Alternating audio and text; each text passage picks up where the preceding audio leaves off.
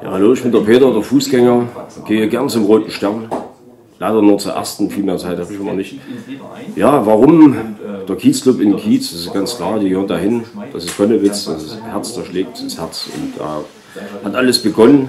Und wenn man sieht, wie die gewachsen sind, 16 Sportarten mittlerweile und total verrückt. Deswegen unterstütze ich das zu 100 Prozent. Wir von der Frauenkultur finden, es gibt keine Alternative. Deswegen Roter Stern Leipzig ab in die Teichstraße. Wir von der Moritzbastei sind der Meinung, dass ein äh, Club einfach in seinen Kiez gehört. Und deshalb sagen wir, dass der Rote Stern in die Teichstraße muss. Wir von der Feinkost wünschen dem RSL die Teichstraße. Kiezclub in den Kiez. Wir sind vom Kaya. Und auch wir wünschen uns, dass der Rote Stern nach 17 Jahren endlich in die Teichstraße kommt. Kiezclub in den Kiez.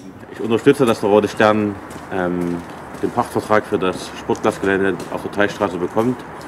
Weil der Rote Stern hat inzwischen über 1000 Mitglieder, ist kein reiner Fußballverein mehr, kann daher den Platz oder das Gelände in seiner Gänze mit Leben füllen. Und er hat auch gezeigt, dass er große Investitionen stemmen kann mit dem Sozialtrakt, der fast eine Million gekostet hat.